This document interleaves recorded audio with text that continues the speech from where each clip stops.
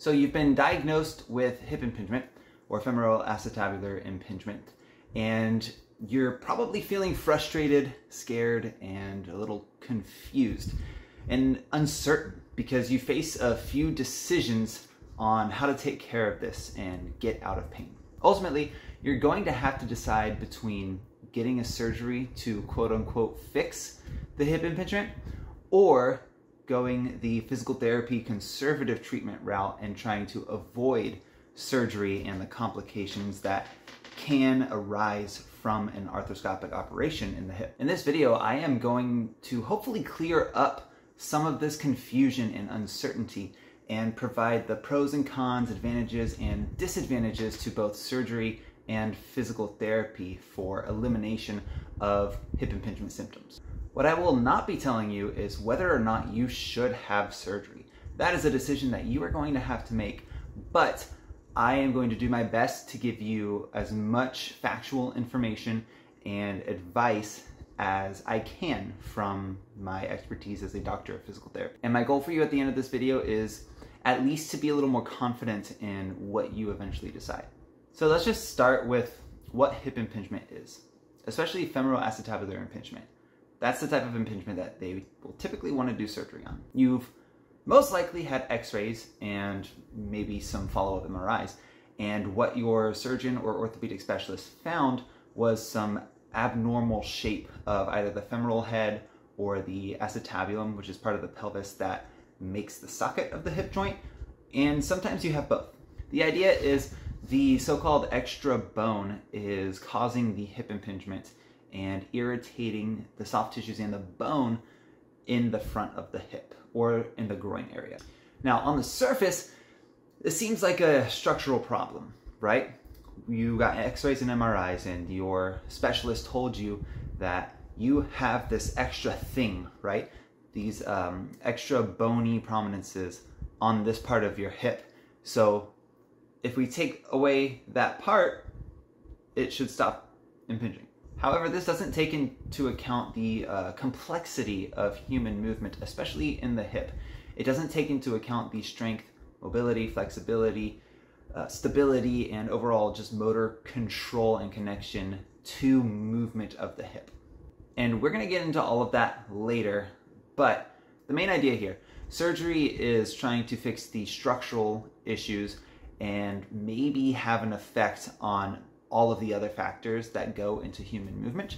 Whereas going the physical therapy conservative route doesn't ignore the structure, but works around the structure and optimizes all of the other factors so that the structure of the hip becomes irrelevant. But let's look a little more in depth into surgery. So the typical operation for FAI, hip impingement, is called a hip arthroscopy. What basically happens is your surgeon will take a few different tools in order to both see inside the hip joint and do what they need to do, shave down the bone, whatever they're going to do.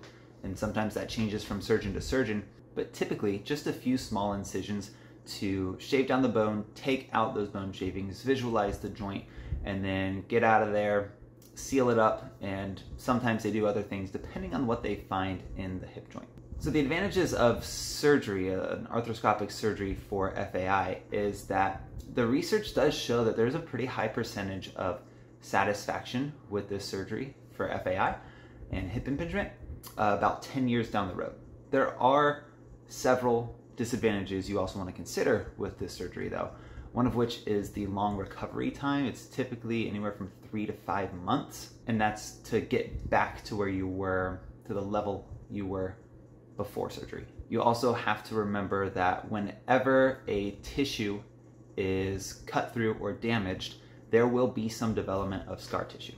And you can do the best treatments to decrease scar tissue and make it align properly, but there will be some scar tissue and that scar tissue will permeate every single soft tissue that the surgeon had to go through. And while a lot of people are satisfied with this operation 10 years down the road, there is a significant percentage of people who experience a reoccurrence of the bony masses, myself included.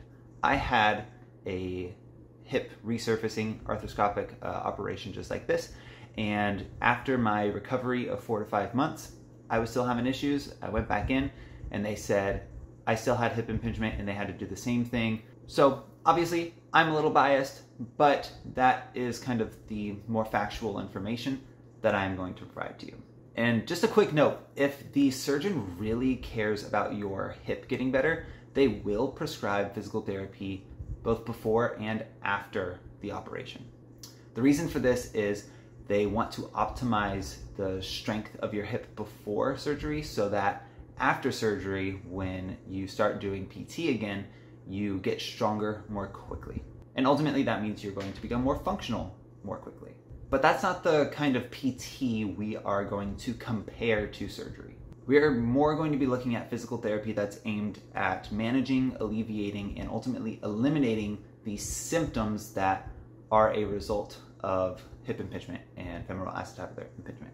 Now, again, as a doctor of physical therapy, I obviously have a lot to say about this and a lot of opinions on the current state of physical therapy when it comes to hip impingement. So, you know, grain of salt and all that, but let's start with the more factual information. The advantage is nothing is being put into or taken out of your body, which means there's minimal, if any, scar tissue development. Physical therapy is typically aimed at improving all of the other factors I mentioned strength, mobility, flexibility, stability, motor control, basically how the hip moves. There's no recovery time from physical therapy because the physical therapy is the recovery. And as a bonus, you just generally will become healthier and more functional as a result. And finally, you have the potential to avoid surgeries for a long time or even forever. Now, there, of course, are disadvantages to just going the PT route, one of which is it's not really doing anything to change the structure of the hip joint. And there is a risk of slightly irritating the hip joint temporarily and increasing the inflammation as you learn what techniques and therapeutic exercises work for you in your hips and what is more painful and you should avoid. Now, all of those advantages and disadvantages are great, and in a perfect world, uh, surgeons and physical therapists would be experts on every condition in the world.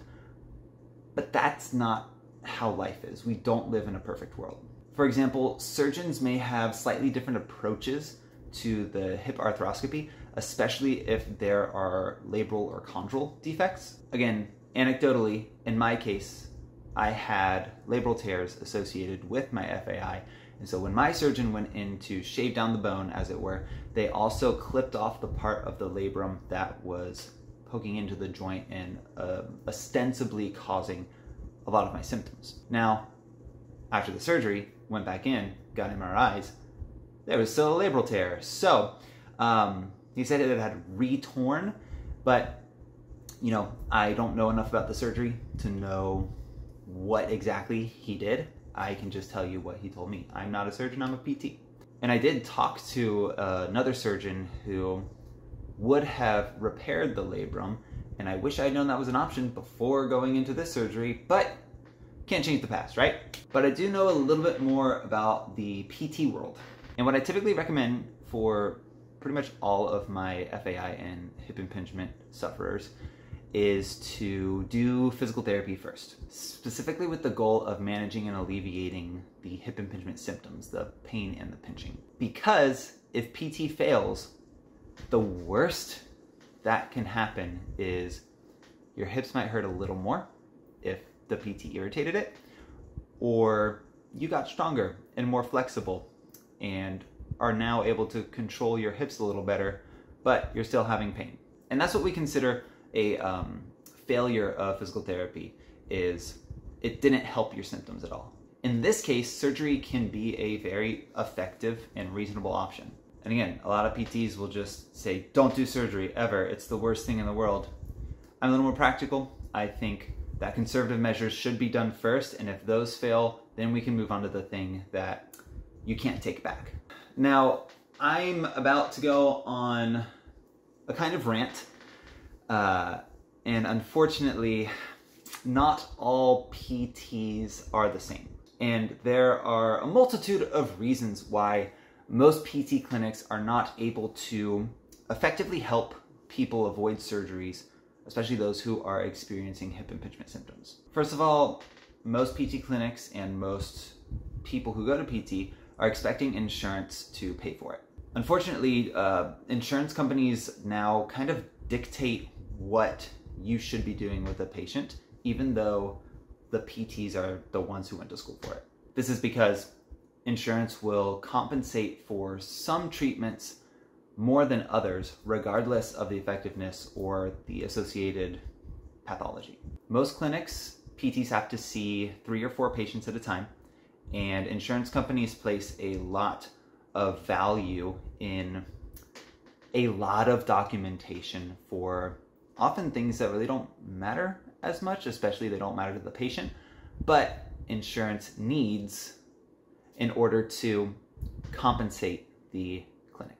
And of course, if the clinic wants to make more money, they will make sure that they have the patient come in more often than not. And that develops an over reliance on physical therapists and not on taking ownership and control of your hips. And I've heard this story before, I've heard it multiple times. I'll have a patient, I'll treat them for hip impingement, and we'll start walking out of the office and they'll say, I think something's wrong because my hips feel like they feel better after the treatment. And I'm so used to leaving PT with them feeling worse. And that's very frustrating because after PT, you shouldn't feel worse. But a lot of people leave PT thinking, oh, my hips hurt a little more. I worked really hard. This is going to get me better. And that's not the case. What really happened is your PT probably couldn't pay a lot of attention to how and what you were doing. And so they kind of brushed it off to the side. Again, this is not on those PTs. It is a failure of the PT clinic and ultimately the situation of American health insurance in whole. What does differ between PT specifically is their knowledge on certain pathologies. Me, for instance, I have personally experienced hip impingement FAI and labral tears, and personally know a lot about how to treat these conditions. But there are a lot of conditions I don't know a lot about how to treat them. So if a patient comes to me for hip impingement, I'm going to be able to treat them more effectively than a PT who has not seen a lot of hip impingement patients or doesn't know as much about treating hip impingement.